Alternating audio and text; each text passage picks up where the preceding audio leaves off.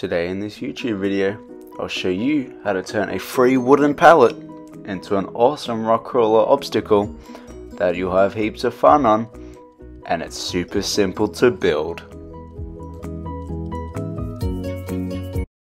The great thing is wooden pallets are free. Businesses leave them outside all the time so look there were two photos of me putting them in my car. My car's only small but I made it work. So look pallets are free, they're great. Uh, the only problem is you do have to take them apart which can be a bit of a slow and tedious process.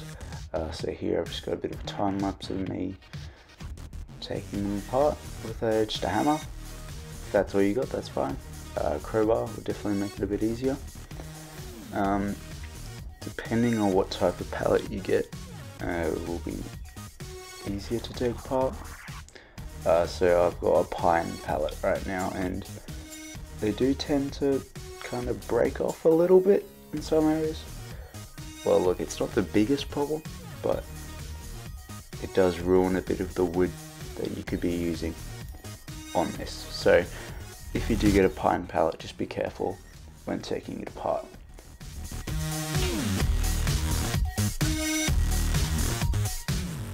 Alrighty, so to show you the progress I've made. So, look, there are a lot of nails involved.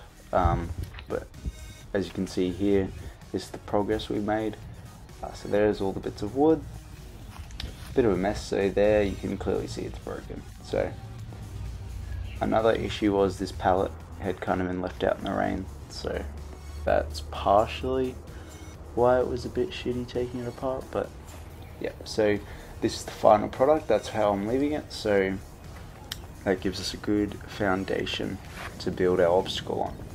As you can see it's held up by just the blocks over there. So yeah. Alright so with my pallet one of the blocks had kind of just come detached. So just here I'm putting in three nails to put it in place. That's all you have to do if uh, you're ever in this situation.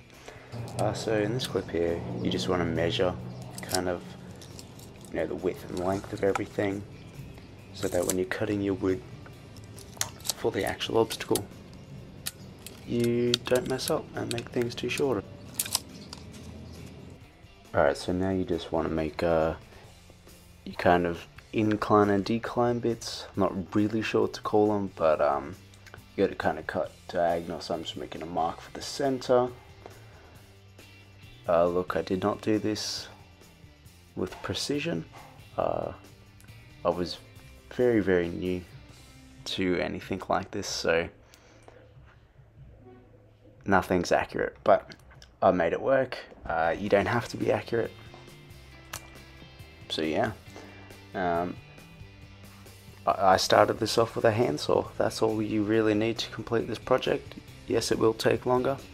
So I ended up actually getting myself some power tools because I was sick of using the handsaw. But you could complete this whole project with a handsaw. So here, I'm just trying to accurately, not really accurate, but trying to uh, mark out where I need to cut. And yes, it was not accurate, but we made it work. Alright, so once you've cut these pieces of wood that we were just talking about, you'll get something that looks like that. And so I've just glued them together at the top. Uh, if you wanted something that was a bit more durable. You could put a screw or nail through. Um, so yeah, that my original plan was to like just to begin with was to nail it down to the pallet, uh, but that ended up being a bit too tricky for me because I am a beginner. But so I glued it down, ended up looking like this. Uh, later on, I did put a screw through it to make it very sturdy. But yeah, get yourself just any wood glue works fine. Um, so just here I'm just showing kind of the general idea of the whole thing. It'll make more sense, obviously, once we start putting the wood on. So I ended up putting the second one on in the nighttime. It did take me a while, uh, so this was just how I was cutting it. So the red lines obviously taking the circular saw along it. Circular saw made it a heck of a lot easier than the handsaw, I'll tell you that. But yeah, you could do that with a handsaw. So you do need a fair amount. Um, from memory, the little wood sticks were about 410 millimeters. So then that's a bit of a progress. And you just nail one side in and you get something that looks like that. Really simple and really fun.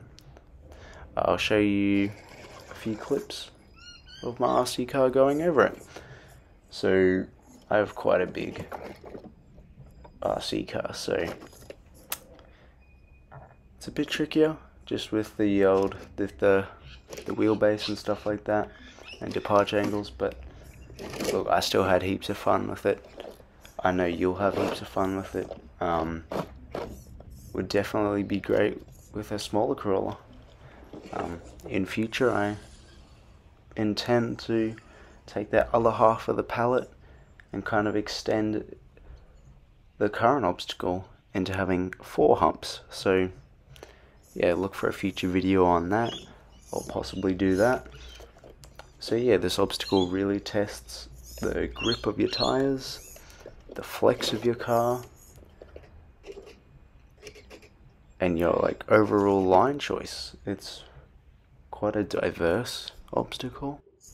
So if you don't have an obstacle like this, I would highly recommend spending the time finding a free wooden pallet and creating this obstacle.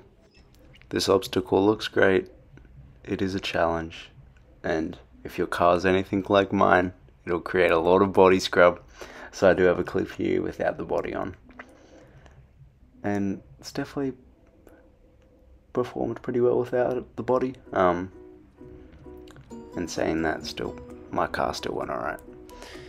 So yeah, I'm sorry I didn't get to kind of capture every important detail in the making process of this. Uh, it was a bit difficult. I've only got my iPhone, but yeah. Um, if you have any questions, put them down in the comments below. Hit the subscribe button hit the like button. I appreciate you all. Thank you for watching.